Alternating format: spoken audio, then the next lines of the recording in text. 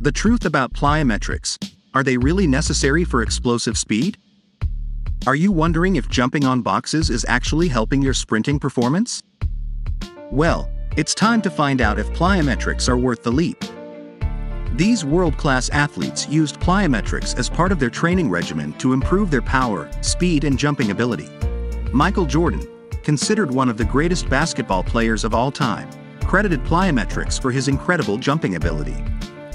Usain Bolt, the fastest man in the world, used plyometric exercises as part of his training to improve his speed. Cristiano Ronaldo, one of the best soccer players of all time, incorporates plyometric exercises into his training to improve his jumping ability and explosiveness. LeBron James, one of the greatest basketball players of all time, uses plyos to be able to jump high and move fast. It's worth noting that these famous athletes have or had a complex training regimen and plyometrics is one of the many tools they use to improve their performance. Plyometrics are exercises that involve explosive, powerful movements like jumps and hops, designed to increase muscle power and explosiveness. These exercises involve an eccentric muscle contraction quickly followed by a concentric muscle contraction, replicating sport-specific movements to improve tendons elasticity and stretch reflex over time. Studies have shown that plyometric training can lead to increased power output and improved muscle activation, which can translate to improved sprinting performance. However, it's important to note that plyometrics alone may not be sufficient for all athletes, particularly for those who lack technical coordination and have weak strength levels. A good overall training program should include a variety of exercises, such as strength and resistance training, that can also improve explosive power. When performing plyometrics, it's important to maintain proper form and to start with lower impact exercises before progressing to more advanced moves.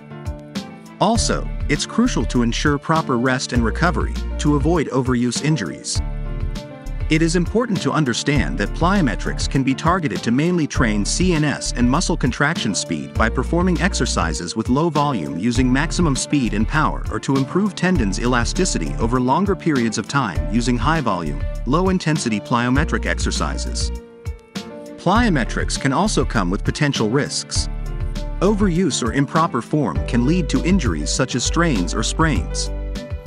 It's important to have a proper warm-up before starting plyometric exercises and to start with lower impact exercises and progress gradually.